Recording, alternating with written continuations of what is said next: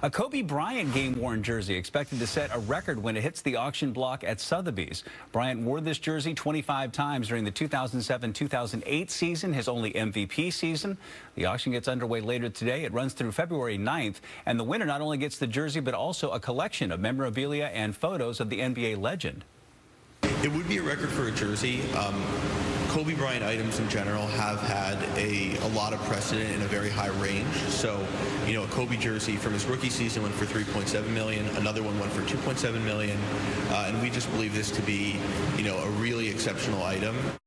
The second part of the auction will feature items from other legendary athletes, including Tom Brady, LeBron James, Roger Federer, and Michael Jordan.